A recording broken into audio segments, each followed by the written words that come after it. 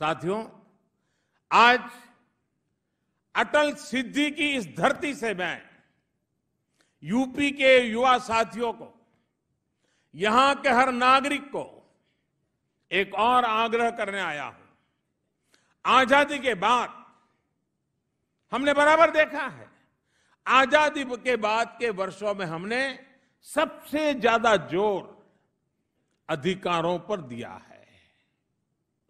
लेकिन अब जब हम आज़ादी के 75 साल की ओर बढ़ रहे हैं, आज़ादी के दीवानों के सपनों को आज अगर हम तोलते हैं तो समय की मांग है कि अब तक भले हमने अधिकारों पर बल दिया हो, लेकिन अब वक्त की मांग है कि हमें अपने कर्तव्यों, अपने दायित्वों पर भी उतना ही बल देना है।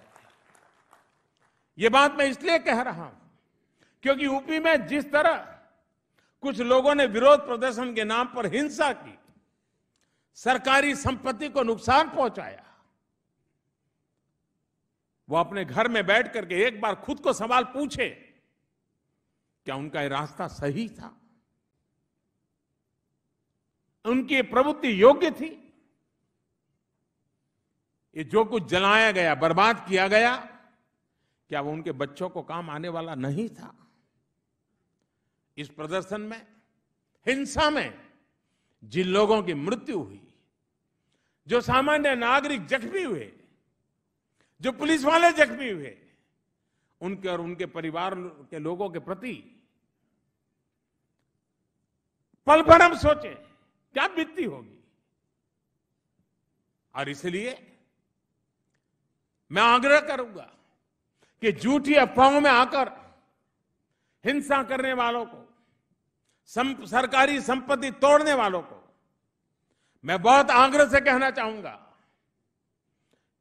कि बेहतर सड़क बेहतर ट्रांसपोर्ट सिस्टम उत्तम सिवर लाइन नागरिकों का हक है। तो इसको सुरक्षित रखना साफ़ सुथरा रखना भी तो नागरिकों का दायित्व है। हक और दायित्व को हमें साथ साथ और हमेशा याद रखना है। उत्तम शिक्षा, सुलभ शिक्षा हमारा हक है, लेकिन शिक्षा के संस्थानों की सुरक्षा, शिक्षकों का सम्मान, ये हमारा दायित्व भी है।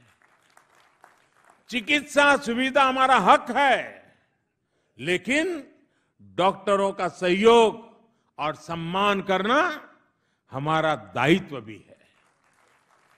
सुरक्षित माहौल मिलना हमारा हक है, लेकिन सुरक्षा के लिए जिम्मेदार पुलिस तंत्र के काम को सम्मान देना यह हर नागरिक का दायित्व है। हक की एक मर्यादा है दायरा है, उसका एक दायरा है, सीमा है, लेकिन दायित्व की, कर्तव्य की भावना बहुत ही व्यापक है।